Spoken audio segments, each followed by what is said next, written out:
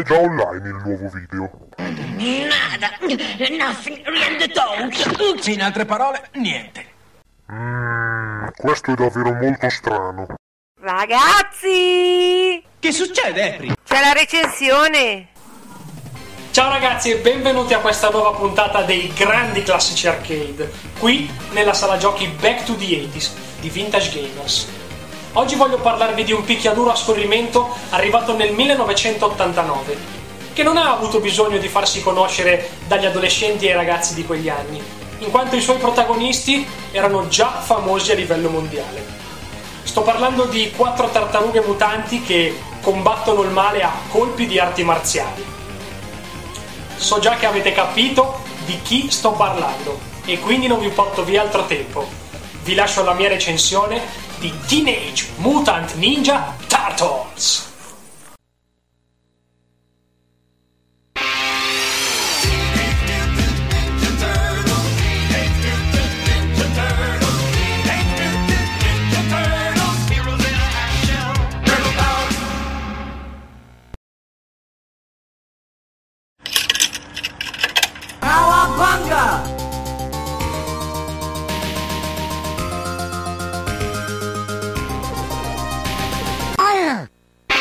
Hang on, April.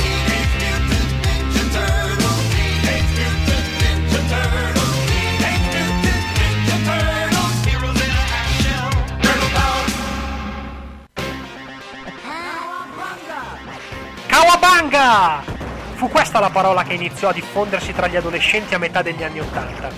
Era il grido di battaglia di quattro tartarughe mutanti che combattevano a colpi di arti marziali per difendere la Terra dal malvagio Shredder.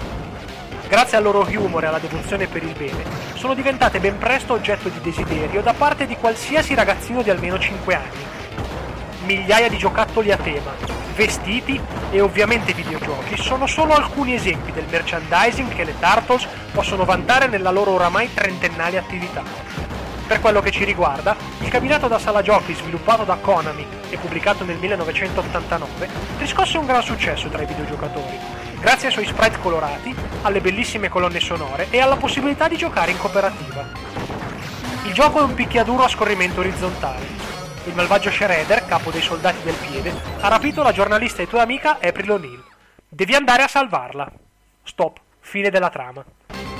All'inizio dovrai scegliere il tuo ninja, ognuno con un'arma unica, che ti garantirà ben quattro stili di gioco diversi.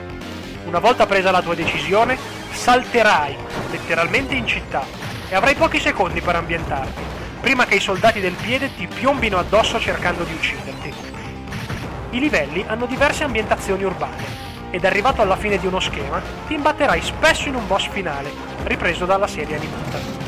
Passerai per le fogne e l'autostrada, fino ad arrivare al Tecnodromo, la base nemica dove April è tenuta prigioniera. Troverai parti di scenario che potrai colpire per aiutarti. Spacca l'idrante per annegare i nemici, o lancia il parchimetro per travolgere chiunque ti venga incontro. E mi raccomando, guarda dove metti i piedi. Le strade sono piene di tombini. Non ci sono armi o power up nel gioco. L'unica cosa che troverai sarà una gustosa pizza appena sfornata, che oltre a saziare il tuo appetito e farti desiderare di averne una sullo sgabello di fianco, rigenererà la tua salute. I comandi sono essenziali. Grazie al joystick ad 8 direzioni potrai spostarti senza problemi per tutto lo schema, mentre i due tasti serviranno ad usare l'arma e a saltare. Premili assieme per un devastante calcio volante. Il cabinato venne distribuito in diverse versioni, principalmente per due giocatori.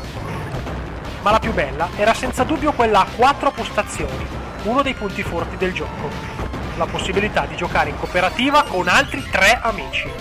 Il divertimento che questa modalità offriva, unito alle colonne sonore e dei coloratissimi sprite, faceva passare in secondo piano il rendersi conto troppo tardi di aver giocato per tutta la partita con il ninja dell'amico a fianco, cedendo al desiderio di inserire un altro 200 lire. Il videogioco, grazie al suo successo, generò nel 1991 un sequel, Teenage Mutant Ninja Turtles, Turtles in Time, nel quale le quattro tartarughe combatteranno Shredder, una fantasia proprio, attraverso le diverse epoche storiche. Furono ovviamente sviluppati diversi porting per console domestiche e portatili, Spectrum, Amiga, Atari, Game Boy. Una delle più riuscite è la versione per Nintendo Entertainment System, il NES, che seguiva fedelmente l'arcade originale, dando anche la possibilità di giocare in quattro contemporaneamente, grazie all'uso del NES for Score. Fu addirittura prodotto un bundle apposito.